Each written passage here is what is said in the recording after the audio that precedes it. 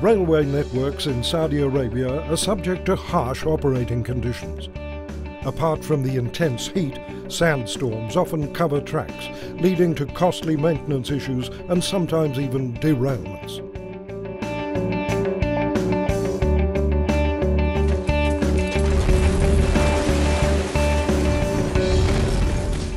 Traditional ballast railway tracks trap sand under the tracks, which quickly builds up, affecting water flow. This can lead to washouts of the track during heavy rains. Sand removal has traditionally been undertaken by large labour forces or specialised vehicles. However, this has high maintenance costs and is a constant battle against nature.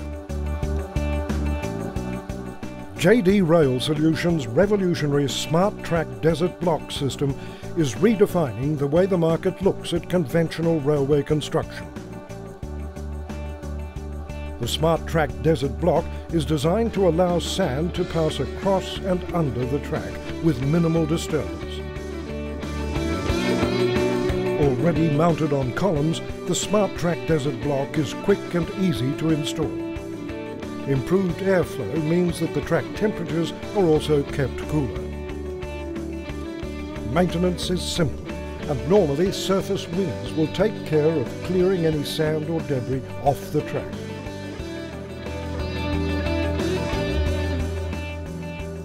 For larger sand deposits, it's simple to use air to blow sand away.